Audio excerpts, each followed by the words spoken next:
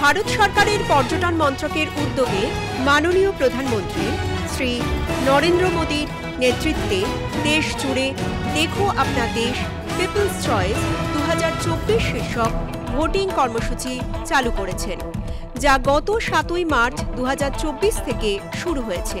চলবে আগামী তিরিশে এপ্রিল দু হাজার চব্বিশ পর্যন্ত।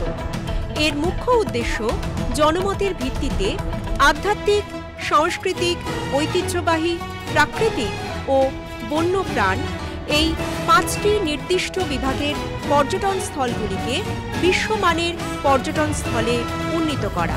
আপনাদের সক্রিয় অংশগ্রহণ বিকশিত ভারত অ্যাট দি রেট দু সাতচল্লিশের যাত্রাকে বৈশ্বিক স্তরে প্রসারিত করবে। আপনার পছন্দের পর্যটন স্থলকে দেশের পছন্দ করে তুলতে ভোটদানের জন্য মিসড কল নাম্বার নয় নয় এক দুই চার দুই পাঁচ চার দুই পাঁচ অথবা সার্চ করুন দেখো আপনা দেশ। ভোটদানে অংশগ্রহণের জন্য ভিজিট করুন এই website H TTPS colon double slash innovate India dot my gov dot in single slash Dekho hyphen Apna hyphen Desh.